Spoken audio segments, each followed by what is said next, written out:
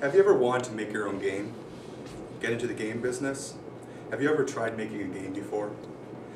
Even a board game? For this, I'm going to be telling you what is needed to make what needed to make games: software, artists, and programmers. Many games started off small. That includes World of Warcraft, Angry Birds, League of Legends.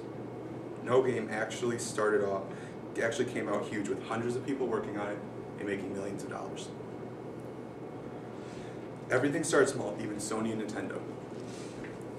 For example, Blizzard only started with a handful of people. Then they grew bigger and bigger, making the best games ever. World of Warcraft, Diablo series, and the StarCraft series. League of Legends only started off with about eight people, but a few million dollars that they got from a, got from a friend that they used for equipment. And to create your own game, you need some equipment. Game software, if you don't know how to write your own code, form of programming, and art software. Many people think that video games are a waste of time and do nothing for you. But look at the military. They use video games for simulations, for soldiers, and to recruit people. There are the bad parts of video games though. They can cause divorce or they can cause a death. Video games can cause many problems or they can be used for many solutions. My main goal is to get your creative juices flowing and start doing something you never thought you would even like or even thought you'd ever do. Making games isn't just a hobby for many, it's a way of life. They spend hours upon hours making the greatest things in the world. Look at how long it took to make Scar, three years, or even any other huge game. For example, the Diablo 3 that was supposed to come out next month has been in production for about 11 years. So you want to make a game. It's not so easy, it can take a lot of your time. You might think, that's easy, I can do it, but can you really? Making games isn't like taking a walk in a park. It takes time and sometimes money. There are many free programs you can get online, but to really make a game, you need to start from scratch. Personally, I can't start from scratch.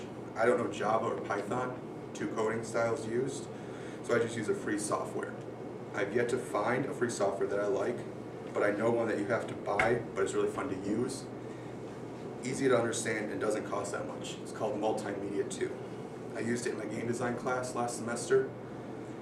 But looking at free software for more than just making a game, you can get the Reality Factory, which is used for maps and backgrounds, or you can download Blender, a free open source animation program.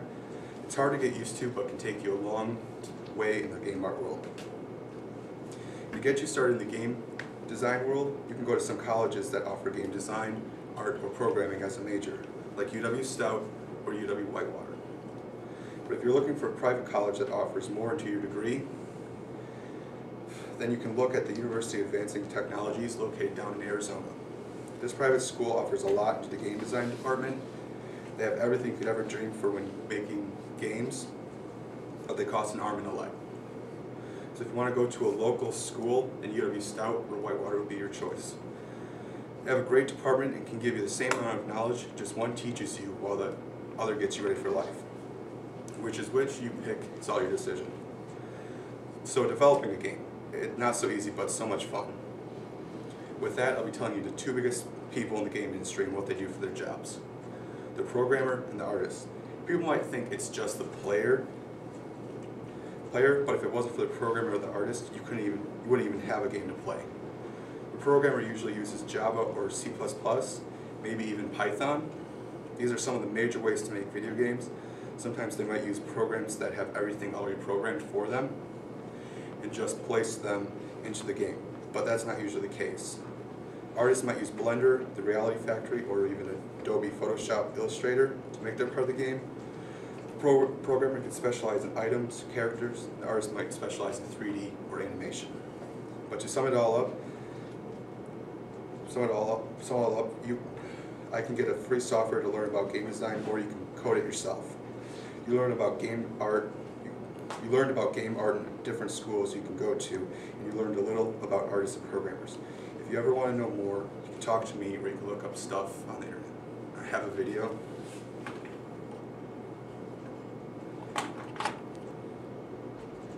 there because talks you about know, what I'm this the one that puts it she there. does for her job. The best design process actually always starts on paper. It's always a good idea to start on paper because you just kind of think things through and you plan things out better. Plus, paper's really cheap. right? This idea that you, you do something on paper, it doesn't take very long, it's very quick, uh, and you can throw it away and you don't care. So if it comes out bad, you're like, oh, okay, I, I wasted like an hour. Once you have a fairly decent idea on paper and that you're fairly sure is going to be good, then you start building it in the editor. But you don't build it pretty. You build it very ugly, very quick, fast, you know, as, as And that's what you should start off with, just doing it on paper.